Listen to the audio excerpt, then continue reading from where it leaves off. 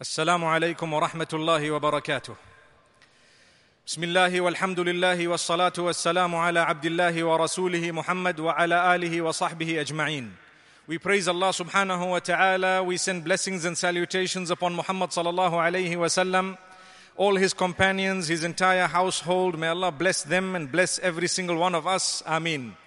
My brothers and sisters, as we know, there are 10 men who were told during their lifetime that they were from amongst those who would be in paradise. They were known as Al Asharah Al Mubashirina Bil Jannah, the 10 who were granted the good news of paradise.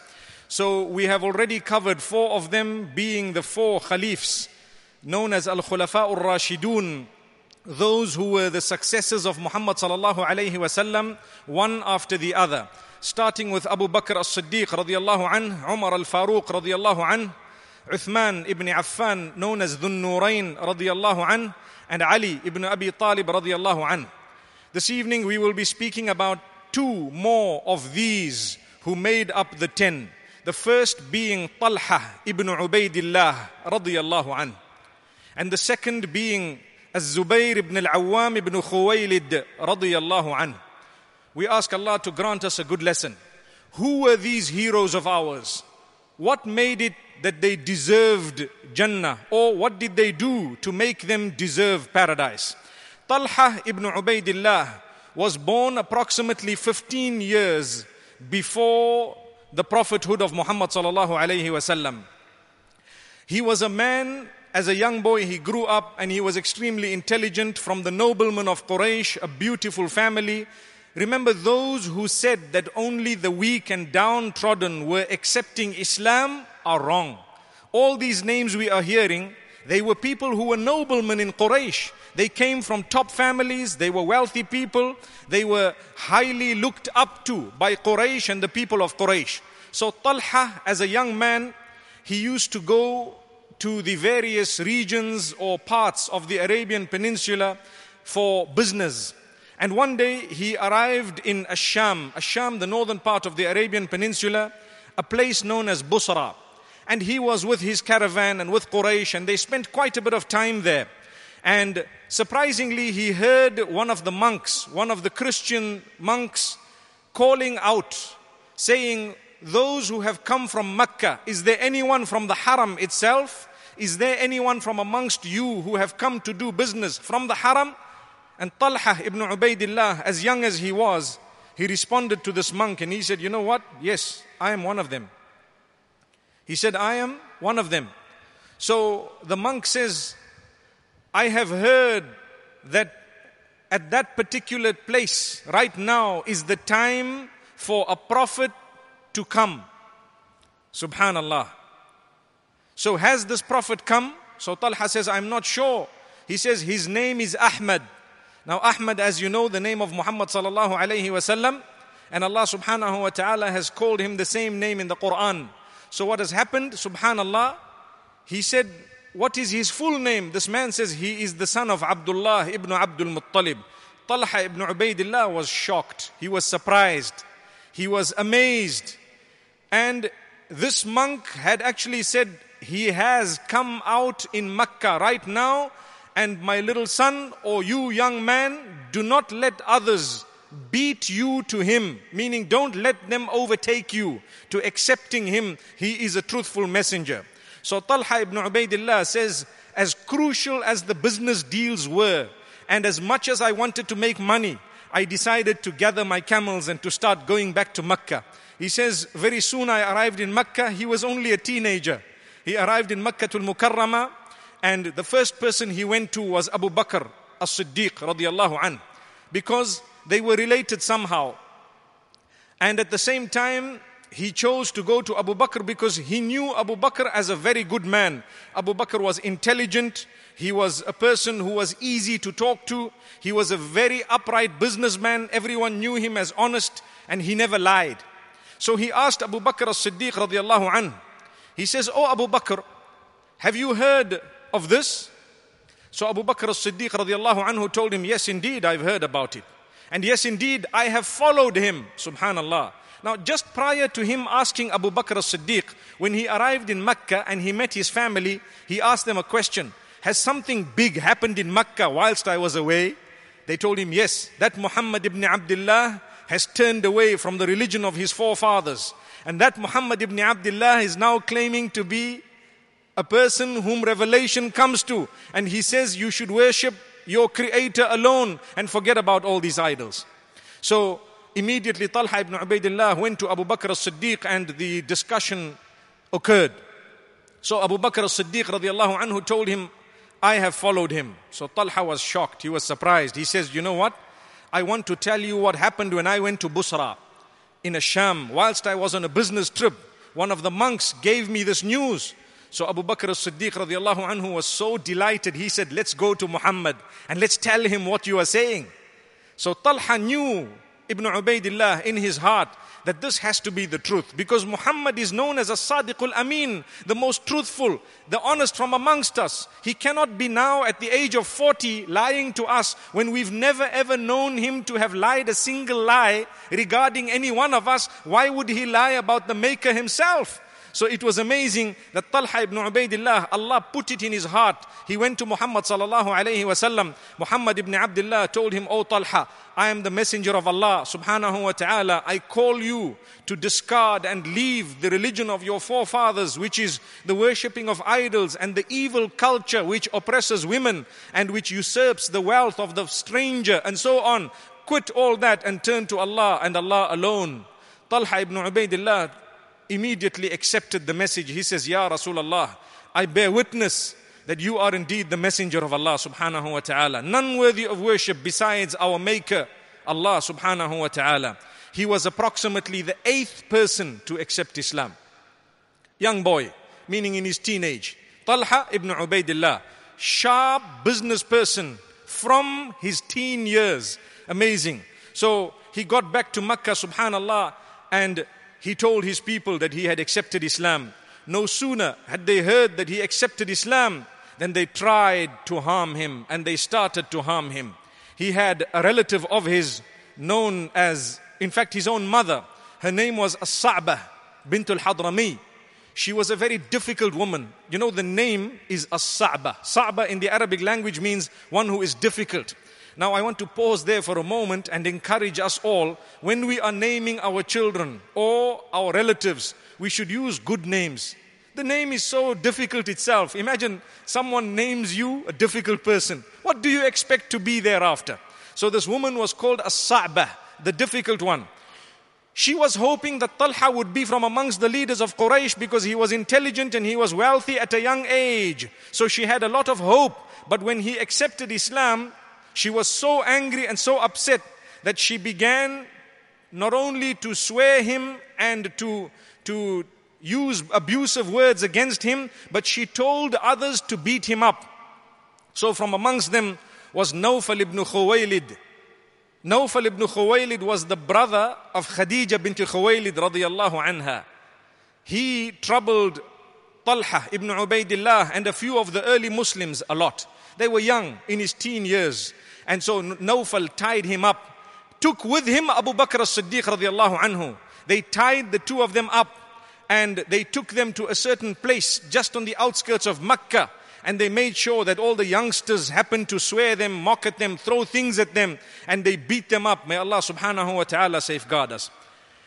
In fact, this Talha ibn Ubaidillah was harmed so much, they tied his hands behind his neck and they took him pulled him, dragging him in a large group of people towards the Mount of Safa. And they started throwing stones at him and beating him and telling him that you'd better leave the religion of Muhammad. How dare you follow this faith? But he was so strong. He had heard in Busra what the monk had to say. And more than that, he was convinced by the message. All Muhammad is saying is, worship your maker and your maker alone. Don't worship anything else. Turn to your maker. So he was convinced that this is correct and he kept on uh, sticking to his beliefs and they kept on harming him. May Allah subhanahu wa ta'ala safeguard us all. He had heard also Muhammad sallallahu alayhi wasallam read verses of the Quran which had touched his heart. Talha ibn Ubaidillah was a person who stuck to his faith. And in fact, if we take a look at what happened later on when they were in the battle of Uhud, Talha ibn Ubaidillah was known for his bravery in the battle of Uhud. So much so that do you know, whenever Abu Bakr as-Siddiq radiallahu anhu spoke about the battle of Uhud, he said that was the battle of Talha ibn Ubaidillah. He was the, the hero of Uhud. Now, why do they know him as the hero of Uhud? Let me explain to you. Let's quickly go to the battle of Uhud, where you know initially the Muslimin were winning. And then when the archers decided to come down from the mount and disobey the instruction of Muhammad the disbelievers of Mecca happened to come back and attack. And they swiped the Muslimin in a way that many people had suffered. So much so that Muhammad teeth were martyred. And at the same time, he had a gash on his lip and a gash on his forehead, sallallahu alayhi wasallam. And he was lying down in Uhud. He was sitting down at one place where the mount, or in one of the parts of the mount, and a whole group of enemies had come to attack him. And around him were a few of the Ansar and Talha ibn Ubaidillah. Very few men. And there were so many mushrikeen who had come. So Muhammad sallallahu alayhi wasallam asked his companions, who would take care of these mushrikeen? So Talha said, I will. He said, no, you sit down. So the Ansar one by one went and each one of them were martyred until there was only Talha and Muhammad sallallahu alayhi wasallam remaining. And a group of the mushrikeen started coming very close. Talha ibn Ubaidillah got up and he really fought these people so much. He did not allow them to get close to Muhammad sallallahu alayhi wasallam. They say he suffered more than 70 wounds on his body, protecting Muhammad sallallahu alayhi wasallam. And he chased away those mushrikeen in a battle that was just between him and a whole group of mushrikeen on the day of Uhud. And Allah subhanahu wa ta'ala safeguarded him and safeguarded Muhammad sallallahu alayhi wasallam. On that day, he lost his palm. The palm of one of his hands was martyred as well on that particular day. He lost it.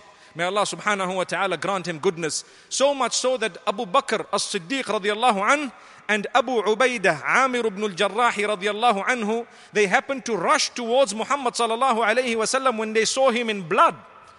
And they asked him, Oh messenger, are you okay? He said, Don't worry about me. Go and see your companion Talha ibn Ubaidillah. He was laying on the floor in a pool of blood with so many gashes that he had. May Allah subhanahu wa ta'ala grant us all goodness and a lesson to learn from this.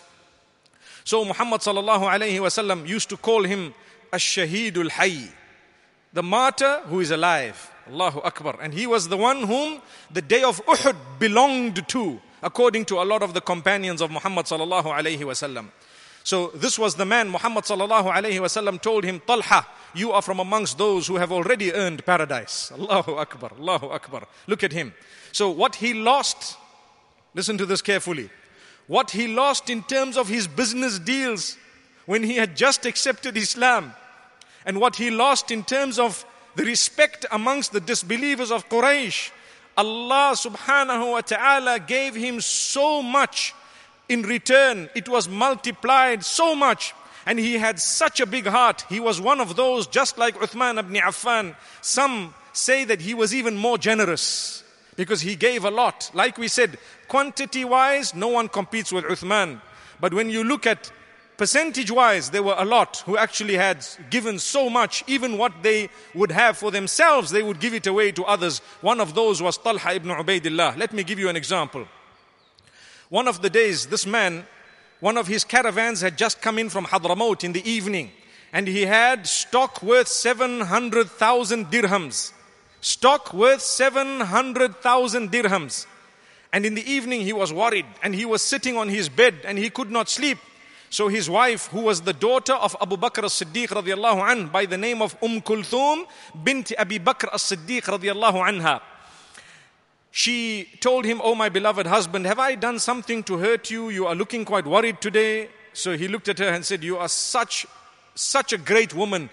You see me concerned and you actually think that you are the one who has made me worried. Imagine when our wives sometimes see us worried, I wonder if they would actually come to us and tell us, Is it me who's done something to you? May Allah subhanahu wa ta'ala make us husbands who are concerned even of their own wives. When we see them worried, it is important for us to ask them, I hope it's nothing I have done that has made you so worried. We learn it from here. May Allah subhanahu wa ta'ala make us the best of spouses. Amin. So, and may Allah bless those who are not married with spouses who will be the coolness of their eyes. Oh, look at that loud Amin, mashallah. May Allah grant it to us all. Amin. So this was the daughter of Abu Bakr as-Siddiq radiallahu anhu. So she looked at him. He said, not at all. She says, well then I think I know what is bothering you. You have so much wealth here in your home. So much wealth here in your home. Subhanallah. And you are perhaps worried. What are you going to answer Allah subhanahu wa ta'ala when there are people outside who are poor and who are beggars? He said, Yes, exactly. So she said, Why don't you just distribute this wealth? He said, No problem. They started making little packs, they started making portions. And in the morning, they called out there in Medina Munawwara and they gave out all that to those who were poor amongst the Muslimin in Makkah, in Medina Munawwara. 700,000 silver coins worth of stock, everything given. This was the man, Talha ibn Ubaidillah. He was also a man whom once someone came to him who was needy and told him, Do you know what, O Talha? You are a person who looks after all your relatives because he made sure that everyone from his relation and his family were all taken care of. He was a person who used to look after the whole of Banu Taym. Anyone from Banu Taym, poor, Talha ibn Ubaidillah would spend on them and he would provide for them food and whatever else they needed, them and their families. And even the others from amongst the Muslimin. So one man came to him and told him, I'm related to you in this way and this way and this way and this way, and you know I need your help. So he looked at him, he says, I don't know about this relation. Nobody's told me about it before, but I offer you a piece of land that Uthman ibn Affan has offered me 300,000 for. You either take the land or I can sell it to Uthman and give you the money. He looked at Talha and he says, Okay, I'll take the money. Talha ibn Ubaidillah went to Uthman, sold the piece of land, took the money, and gave this person who was claiming to be a relative. This was the type of heart he had. Imagine 300,000 all at once given to one man who came to him with a story. And he was not worried. He said, Allah will provide. And guess what? The more he gave, the more he got. Allahu Akbar. May Allah subhanahu wa ta'ala bless us and grant us goodness. Sadly and unfortunately, he was from amongst those who was killed during the battle of Jamal or the battle of the camel, the fitna between the Muslimin. And do you know what happened? They had come out and they went to Basra, which is in Iraq, in order to meet with Ali ibn Abi Talib radiallahu anhu to try and get those who had killed Uthman ibn Affan radiallahu anhu. But they did not mean to kill one another. No, not at all. And this is why it is reported in the correct narrations that Talha ibn Ubaidillah and Zubayr ibn al-Awwam, they withdrew when they saw Ali and when they spoke to Ali ibn Abi Talib radiallahu an, and they did not want a war. But sadly, some people killed them. So Talha ibn Ubaidillah there are some narrations which say that Marwan ibn al-Hakam actually killed him, but the most correct of narrations say no, it was not Marwan ibn al-Hakam, it was someone else who actually killed him on that day with one spear.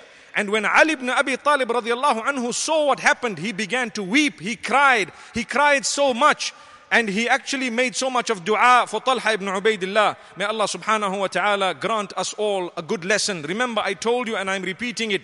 Be careful of those who try to instill hatred in your heart against your fellow brethren. They did this from the beginning and they succeeded in splitting the Muslimin and making them fight with one another. Up to this day, they are doing the same. Let them not succeed in this way. If we don't learn a lesson from this, why then do we go through these stories? May Allah subhanahu wa ta'ala grant us goodness. So Talha ibn Ubaidillah, one of the ten, and he was from amongst those whom Umar ibn al-Khattab radiallahu anhu had named to be from the committee who would appoint a successor, later appointing Uthman ibn Affan radiallahu anhu.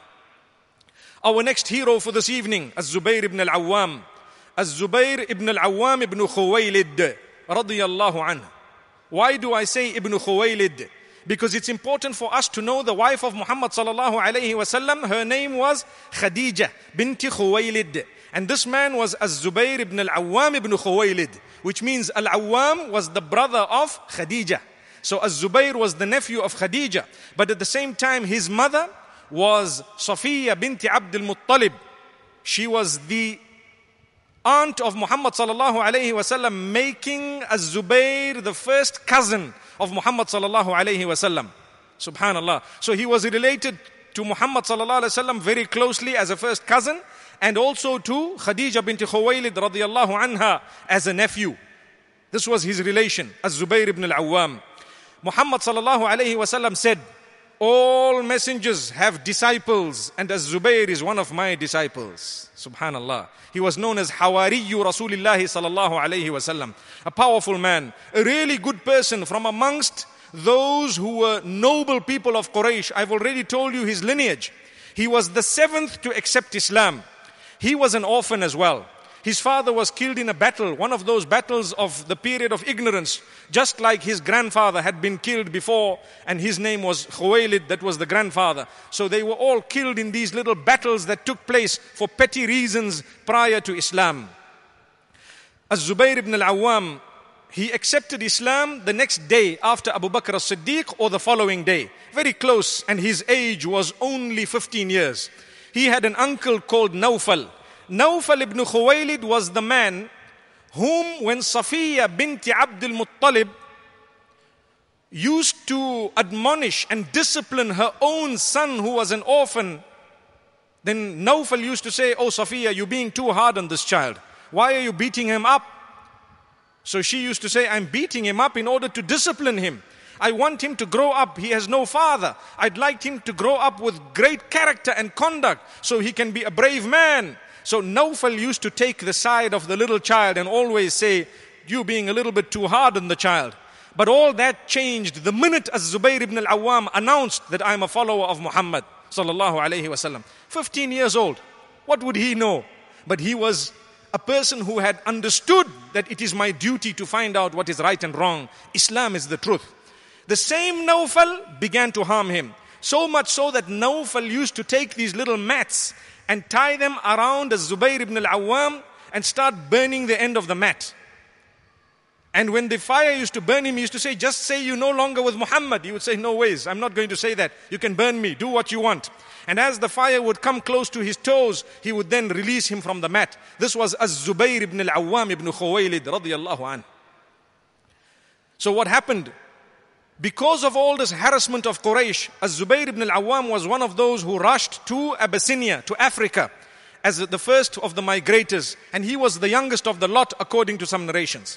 Something interesting happened in Abyssinia with Az-Zubayr ibn al-Awwam.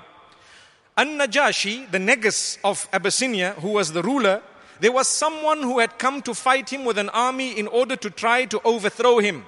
So the Muslims were worried and they were making dua for An-Najashi because they knew he was the one who gave them respite and he offered them a place to live. And if he has to be overthrown, there's going to be a problem for the Muslims. So Najashi happened to cross the Nile at one place and he was fighting the person who came to overthrow him. And the Muslims were on the other side making dua.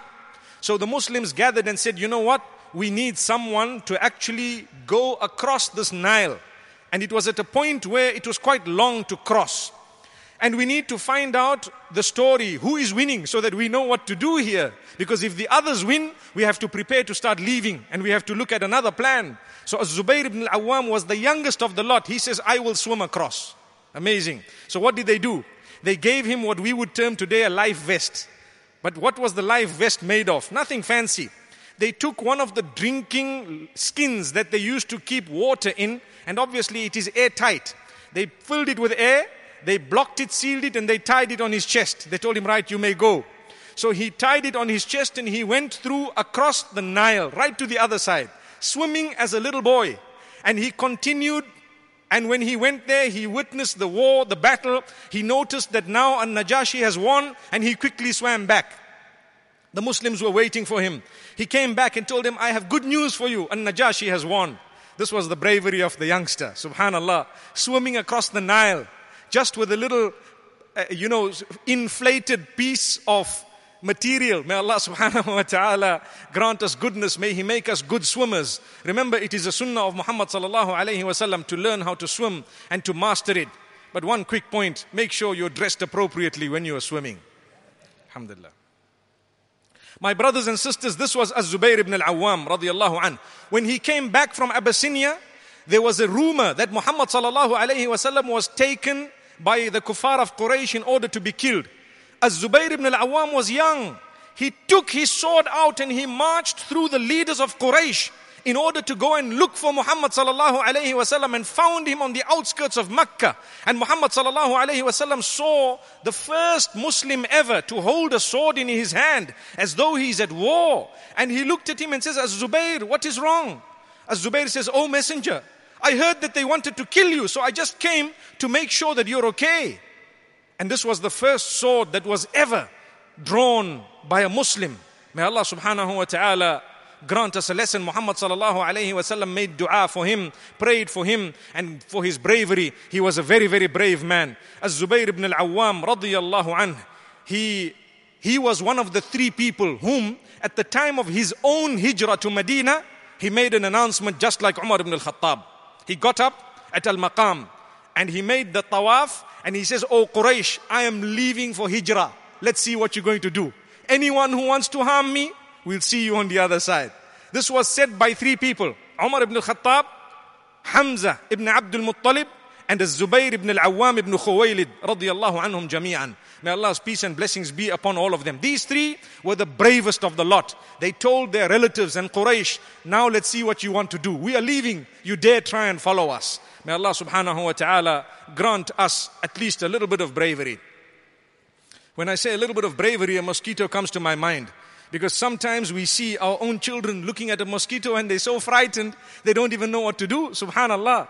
Like they say, to swat a fly. May Allah subhanahu wa ta'ala make it easy for us. There are beautiful butterflies that I notice in this masjid. They are not here to scare you, my brothers and sisters. They are here to beautify the house of Allah subhanahu wa ta'ala.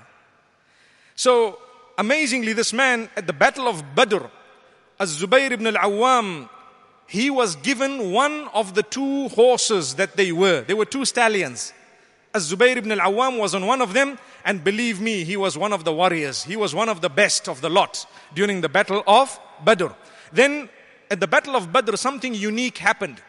As Zubayr ibn al-Awwam was wearing a yellow turban. And Muhammad sallallahu alayhi wasallam saw thousands of yellow turbans. And he looked at his companions, he said, the angels have just come down and they're all dressed like a Zubayr ibn al-Awwam. Subhanallah. As Zubayr ibn al-Awwam ibn Khuwaylid, one of the ten who was told, You are from amongst those who are already guaranteed a place in paradise.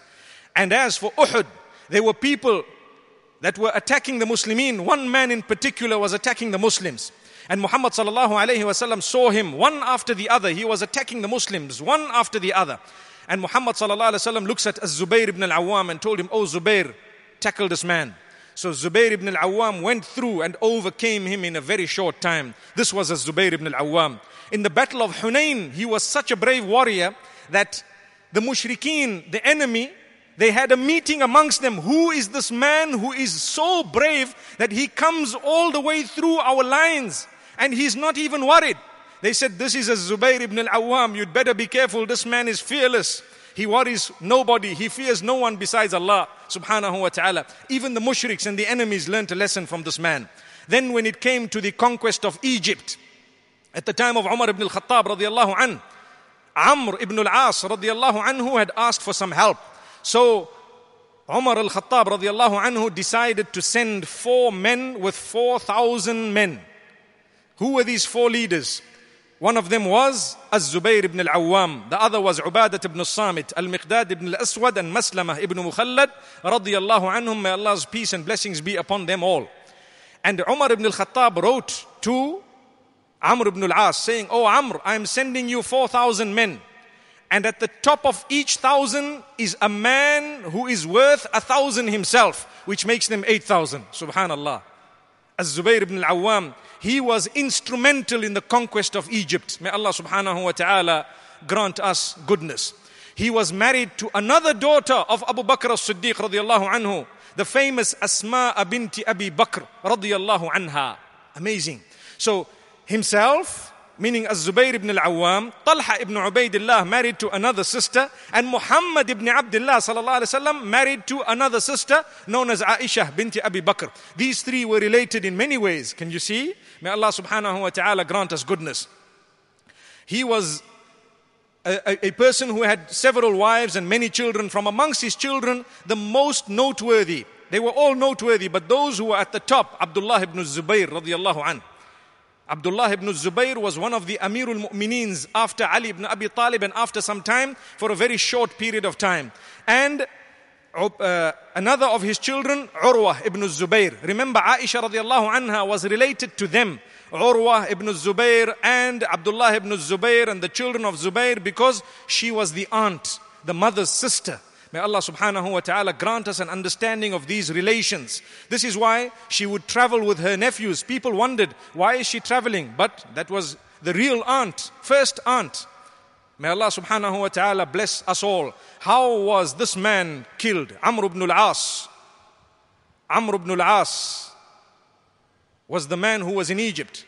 But this Az-Zubayr ibn al-Awwam radiyallahu anhu, Az-Zubayr ibn al-Awwam ibn Khuwaylid, he died with Talha ibn Ubaidillah during the same fitna, the same problem that occurred, the battle of the camel between the Muslims amongst them themselves.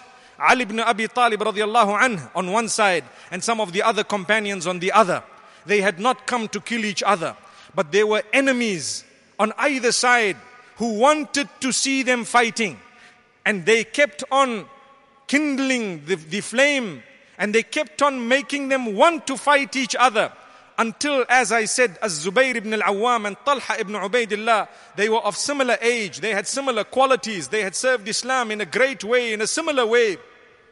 They both withdrew from the battle. But Talha ibn Ubaidillah was killed. And as for Amr ibn al, uh, as for uh, Zubayr ibn al-Awwam, he was killed by a man known as Amr ibn Jurmuz. And believe me, Ali ibn Abi Talib radiallahu anhu screamed when he found out about the death of Zubayr ibn al-Awwam. Although he was on the other side, like I said, they did not come to kill one another. But there were enemies who wanted to see them fight one another. And when the man who had martyred Az-Zubayr ibn al-Awwam wanted to enter to meet Ali. Ali ibn Abi Talib radiallahu anhu refused. He said, I don't want to see this man. And when the sword was brought, that was the first sword that was used to protect Muhammad sallallahu alayhi wasallam. Ali ibn Abi Talib, he knew the story. He was there when it happened. He began to cry and he wept so much. And then he said, I have hope in my heart and I know that Allah will gather myself, meaning Ali ibn Abi Talib radiallahu anhu, Talha ibn Ubaidillah, Az-Zubayr ibn al-Awwam and Uthman ibn Affan in paradise and we will be together. Subhanallah. And then he recited the verses of the Quran where Allah subhanahu wa ta'ala says, ونزعنا ما في صدورهم من غل إخوانا على سرر متقابلين Allah speaks of paradise.